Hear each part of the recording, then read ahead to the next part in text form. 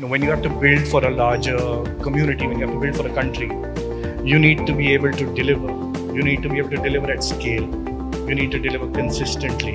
It is of a scale which India has never seen before. It has so many technologies that have never been uh, handled before by an architect here. It sort of gets your imagination going, right? You want to get your energy into that. Highlight a session of today, a very interesting design dialogue between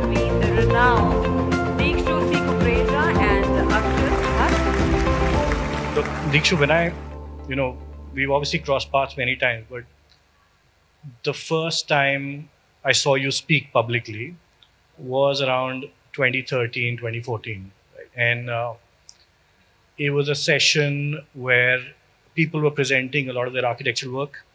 And, you know, a lot of them are in the room today. And you sort of came out with a few sketches and uh, photographs of, you know, slum developments and such, and said, you know, we're all creating and focusing on islands of excellence but have we forgotten about cities? And what I see you do is actually focus on that, right? So what, I and I think the focus of your conversation was really just, uh, you know, uh, the focus of your of your talk that day was just, you know, a generic overview of what was happening. But soon after that, you know, you realize that you know, when you have to build for a larger community, when you have to build for a country, you need to be able to deliver. You need to be able to deliver at scale. You need to deliver consistently.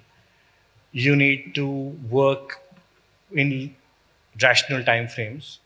And you need to be able to lead a mechanism, you know, which is, say, a government or a large organization uh, that will navigate all kinds of uh, you know all kinds of things that we're generally not trained to do as an architect. Now that you've done so much work at this scale i'm curious to understand how you do this from the perspective of a practice from the perspective of running a practice in the business of practice.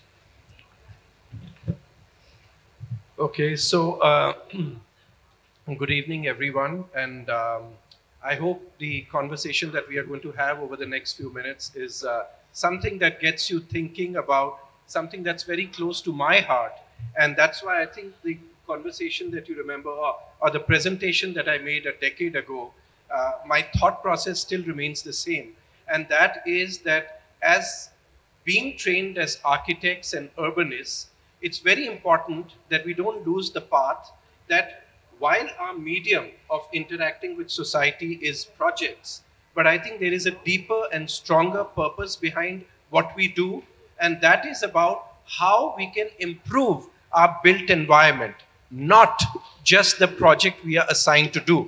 So I think maybe the uh, presentation that Akshat is talking about, I felt it's not important, although it's very tempting as an architect that we, you know when you produce a piece of work, you want to share it with the world. You want to keep talking about it. But I think I felt at that point, and I still believe in that, that it's very important to step back and think about the larger context, about what your work can do to society for the better. And therefore, it's very, very important that we are able to bring those issues into somehow the end result that we produce in the project. So, when you talk about these large scale projects that we are involved in, yes, we are fortunate as a firm that we've been able to uh, design the tallest building in, in India, the largest building in India, longest building in India, etc., etc., etc. But I don't think that is the important point. The important point for me is that the scale of these projects, although even smaller projects, I believe, uh, can make a profound difference in, in what you are doing to the context around, and some of your works do that.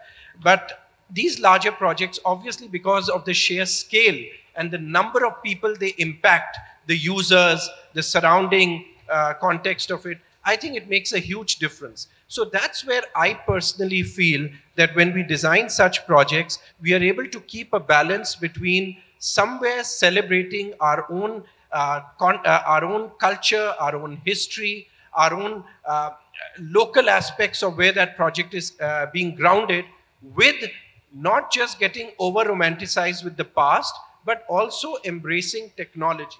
So when you talk about Yashobhoomi, yeah, Yashobhoomi project, uh, which is the big international convention center and exhibition center in Dwarka, it is of a scale which India has never seen before. It has so many technologies that have never been Uh, handled before by an architect here. So for us, from those viewpoints, it was very challenging. But I felt it was very important that the project still has to be grounded in, in through India, with India, and has to have those elements in it that celebrate the Indianness of the project. So whether it is the design elements, whether it is how public spaces were handled in past, for example, step wells. That's one element we decided to really embrace in this project. And yet it has technology where it's the world's largest LED facade.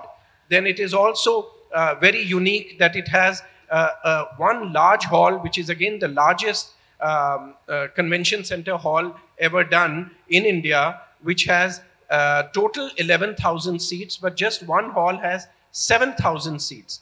And most importantly, just at the press of a button, half of those seats can disappear into the ground and you end up having a flat hall which you can use for multiple spaces. So I can go on and talking about it, but I think what I'm trying to say here is that these kind of projects can have a huge impact on society, and that's what I always believe should be seen rather than just form making. Um, yeah, and I think um, I think what I'm trying to veer towards is that usually these projects come through a murmur, right, through the roots of whatever's going on. I think you guys have, as a practice, you guys really have your ears to the ground to see what's really going on in the mechanisms of, you know, the, the walls of every single state government as well as the central government to actually reach out for these projects. For example, in our case, I mean, we worked on um, the Central Vista before it became the Central Vista, which was a kind of series of murmurs of projects, or murmurs of a talk. Um, and the moment you hear that and you, you hear, even at the scale of our practice, that hey, something like this is going to happen, it sort of gets your imagination going, right? You want to get your energy into that. And you start investing your time, you know, your your resources into putting a you know a theoretical framework for it. We got the murmur of a brief about a year before all of it happened, and we started looking at you know how could this project be an exemplification of you know a city in India for the future. Right? It is arguably one of the most important projects that have happened in the last hundred years for the presentation of this country. Um, so we did a project where we, you know, we, we you always get a murmur of a brief. You have to sort of develop it yourself. You're it's fairly loose ended. It's usually an RFP format of some sort. Um, and there's many things that you have to put out there, right? So, for example, in our case, we looked at energy systems, densification systems. How would you present, you know, a you know a city for a populace like ours 100 years hence? Uh, we looked at cyclic economies, you know, shared ownership, um, transport systems.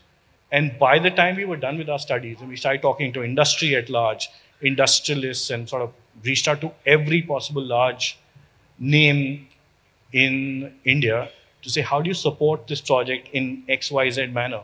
How do you see mobility in a place like this 100 years from now, not just in the immediate future? We sort of found ourselves up, up against a wall to say, hey, almost nothing is possible that we talk that we would sort of envisage. And generally, I find that nowadays industry is more closed than bureaucracy. You know, it's a sort of turnaround thing. I saw within the year that the project actually happened that the government worked at a pace that you cannot imagine industry working at to make to turn things around. Things that have happened here. Did you find something similar when you did your proposal?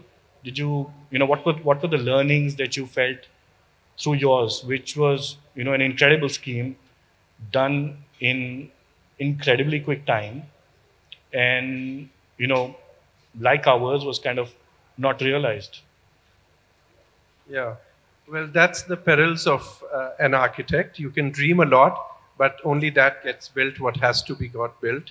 So, uh, but in the case of Central Vista, I think uh, for us, what was very important was that for a project like that, one had to see the broader and larger context of it, uh, very similar to what I was speaking about earlier, that, you know, it was not just the Central Vista uh, physically, that stretch of it, but how do you look at this as an opportunity? For example, you know, connecting the ridge to the river.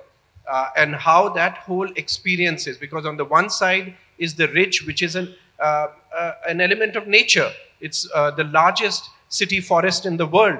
So how do you connect that and connect it to a river, which has been the actually the basis of why Delhi got uh, uh, sort of established in the first place. So how do you connect these two elements of nature? And then by default, the built environment starts coming around it.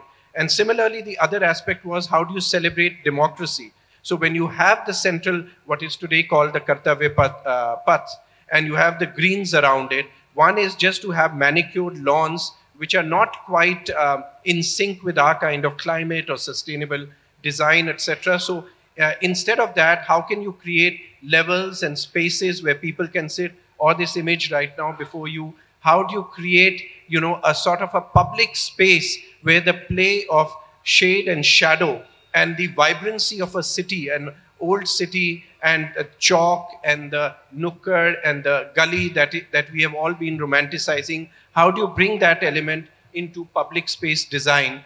All these aspects became very important for us in the approach of creating this kind of a modern living monument which had to come up there. I also think to be able to do this, you have to prime yourself as a practice well before, right? So you've probably been doing this for a decade or so before prepping yourself to be able to present a project like this in the time frame that you do have to present it.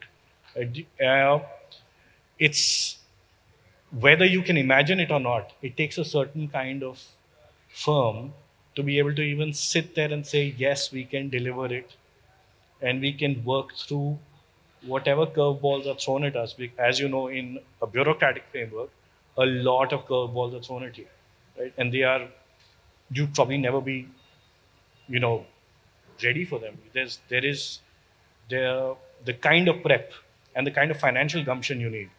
Is there a learning in that for, because that's something that we never taught in architecture school, right? Um, and that's something that I face or have faced in the past in my practice that, you know, do you do you do this? Is it fair to be? Is it fair to put your money where your mouth is before you actually even are asked to dream up of a proposal? So I think in in the case of Central Vista, of course, for us also it uh, literally came out of the blue, and we had that very very limited time in which we did all what we did. So uh, that was, of course, a tremendous and stupendous effort that the team in the office uh, put in. But what is very important, I think, for any architectural practice or the young architects sitting here, I feel that you know it's very important for us to first be confident of our own abilities, our abilities to deliver, the scale of work, the building typology, our design approach. And once we are confident about our own practice, our own firm's ability, I think that's what we should then uh, try to aim for.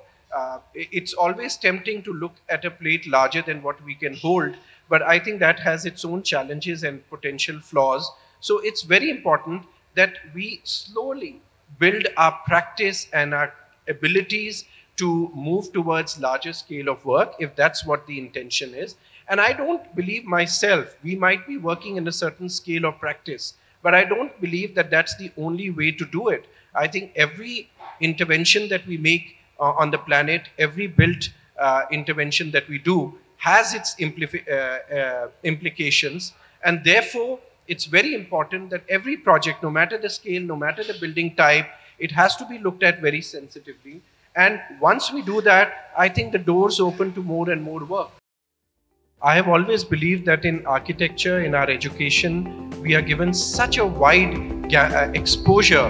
You know, sometimes you have to initiate projects yourself, and I think that's that's a, a I sort of learned that from a generation of architects that doesn't exist anymore. When you live, you need to constantly reinvent and constantly expand your horizon. By creating a whole new language of signage and sort of wayfinding for that place by using smaller design elements in a place that otherwise looked desecrated